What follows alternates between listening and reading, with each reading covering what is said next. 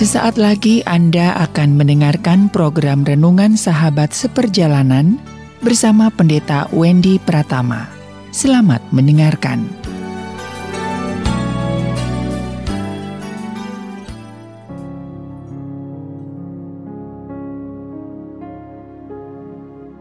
Selamat berjumpa kembali dalam layanan audio Sahabat Perjalanan. Hari ini adalah hari Jumat 24 Maret 2023. Tema renungan saat teduh kita dengan judul Terang Abadi. Terang abadi, firman Tuhan teram di dalam Yesaya 60 ayat 19. Bagimu matahari tidak lagi menjadi penerang pada siang hari, dan cahaya bulan tidak lagi memberi terang pada malam hari. Tetapi Tuhan akan menjadi penerang abadi bagimu, dan Allahmu akan menjadi keagunganmu. Mari kita berdoa. Bapa yang di dalam surga, kami ingin belajar berharap menaruh iman kami kepada sesuatu yang abadi dan bukan yang sementara. Dan biarlah kami belajar perkara ini dengan membuka hati kami kepada kebenaran firman-Mu. Dalam nama Tuhan Yesus kami berdoa. Amin. Shalom sahabat seperjalanan, tema kita berbicara tentang terang abadi. Kalau ada terang abadi berarti ada terang yang fana. Kalau penjelasan tentang ab terang abadi adalah terang yang tidak pernah padam, terang yang konsisten, terang yang tetap menyala, terang yang tetap bersinar, terang yang tetap kemilau. Tapi kalau terang yang tidak abadi berarti terang tersebut pada akhirnya ada kadaluarsanya. Ada waktu habisnya, ada selesainya, ada tamatnya. Apa sesuatu yang tamat dan selesai itu yang dikatakan di dalam firman Tuhan. Yesaya 60:19 bagimu matahari tidak lagi menjadi penerang pada siang hari dan cahaya bulan tidak lagi memberi terang pada malam hari. Ini bagian pertama dalam ayat 19 dalam pasal ke-60 kitab Yesaya. Bagimu matahari tidak lagi menjadi penerang pada siang hari dan cahaya bulan tidak lagi menjadi penerang pada malam hari. Alkitab sudah menjelaskan bahwa dunia ini memang terminal kehidupan. Dunia ini adalah tempat singgah sementara. Dunia ini adalah mungkin kita gambarkan adalah rest area yang kita temukan setiap kali kita melakukan perjalanan. Perjalanan di sepanjang tol dalam rangka untuk tidak menyelesaikan kantuk lapar, kita berhenti di rest area. Di sana kita makan dulu, istirahat dulu, kemudian melanjutkan perjalanan. Tapi sesungguhnya bahwa tempat istirahat yang terbaik bukanlah rest area, tapi sesungguhnya adalah surga abadi yang di sana. Dan firman Tuhan berkata dalam kitab Wahyu, Tuhanlah akan yang menjadi penerang.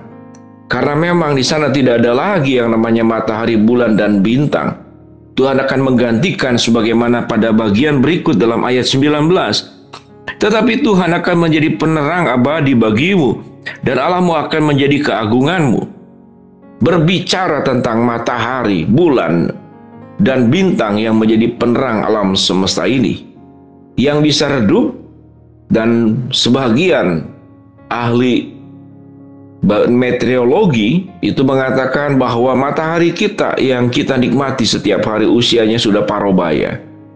Walaupun untuk sampai matahari padam berdasarkan keilmuan masih sekian juta tahun mungkin miliar miliar tahun yang kita tidak tahu, para ahli yang lebih mengetahuinya.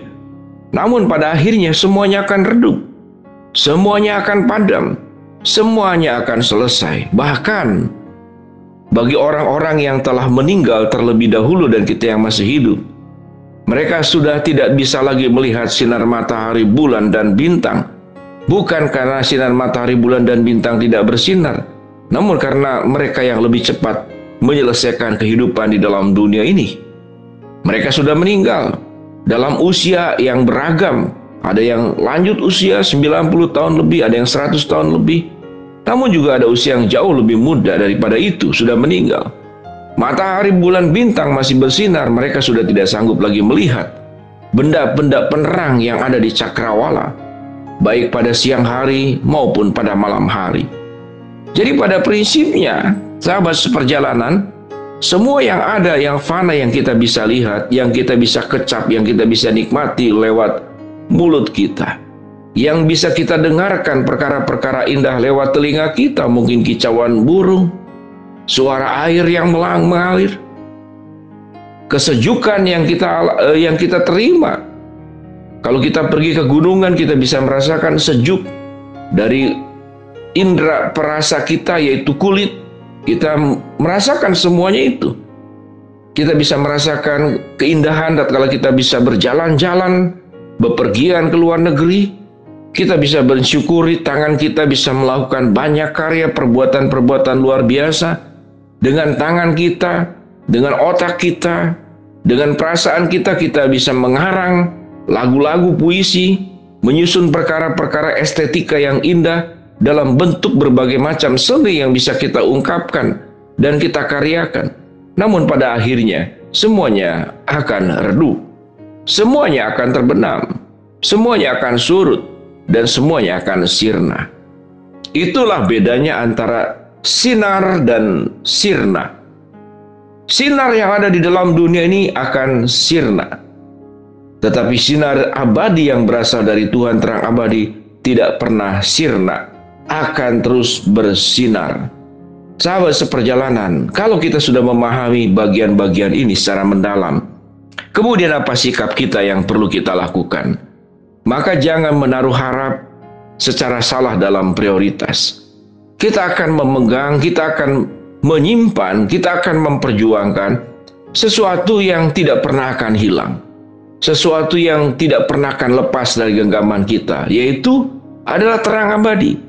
Terang abadi yang berasal dari Allah. Apa itu terang abadi yang berasal dari Allah?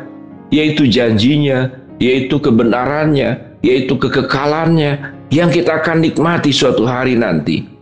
Oleh sebab itu, sahabat seperjalanan, biarlah kita berupaya di dalam hidup ini, tidak hanya mencari terang-terang kesuksesan, kemuliaan, keberhasilan yang pada akhirnya akan redup, sinar-sinar yang kita perjuangkan, kita raih, yang pada akhirnya akan sirna. Namun kita harus memperjuangkan dalam hidup ini, yaitu sinar yang abadi, yaitu terang yang abadi sebuah kehidupan yang berjalan bersama dengan Allah antara kita dengan Tuhan yang tidak pernah terhenti, yang terus berjalan bersama-sama. Kita tidak meninggalkan Tuhan dalam hidup kita, selalu menyertakan Dia. Sesuatu yang kita sertakan terus-menerus kita akan jaga perjalanan hidup itu untuk seturut dengan kehendak Tuhan. Demikian juga sahabat seperjalanan. Kalau mengacu dan mengaca kepada kehidupan rumah tangga, Terkadang kalau suami istri itu kalau berbarengan bersamaan dia akan jaga mata tidak lirik kiri dan kanan. Tapi kalau sudah suami istri terpisah satu dengan yang lain, bukankah sering kali mata dan hati kita tidak bisa dijaga? Sebagaimana kalau pasangan kita ada di, saat, di samping kita. Demikian juga kalau kita selalu menyertakan Tuhan, kita akan menjaga hidup kita, tidak hanya menerima terang abadi, tapi hidup kita pun ada di dalam terang dan tidak ada di dalam kegelapan. Hidup kita ada di dalam kebenaran, tidak di dalam kesesatan. Hidup kita melakukan perkara-perkara yang agung dan mulia, dan bukan melakukan perkara-perkara yang jahat dan berdosa. Sehingga dalam seluruh kehidupan kita biarlah Tuhan dimuliakan. Bahwa terang abadi itu ada di dalam hidup kita, menyatu di dalam diri kita, dan biarlah kita akan terus hidup di dalam terang dan tidak hidup di dalam kegelapan. Jauhi dosa, perjuangkan kekudusan, perjuangkan kesucian, dan biarlah hidup kita senantiasa menjadi terang dan garam buat dunia ini. Karena kita sudah memiliki terang yang abadi, terang yang berasal daripada Tuhan, terang yang terus akan bersinar dan tidak pernah sirna. Mari kita berdoa. Bapa dalam surga mau berdoa buat sahabat seperjalanan yang sedang sakit Tuhan jamah sembuhkan. Sahabat seperjalanan yang sedang menghadapi masalah Tuhan bukakan jalan sahabat seperjalanan yang sedang memohon berharap sesuatu, Tuhan kabulkan dengan cara dan waktunya Tuhan. Dalam nama Tuhan Yesus kami berdoa. Amin. Shalom sahabat seperjalanan, teruslah engkau bersinar tanpa sirna, karena kita sudah memiliki terang yang abadi yang berasal dari Tuhan. Shalom.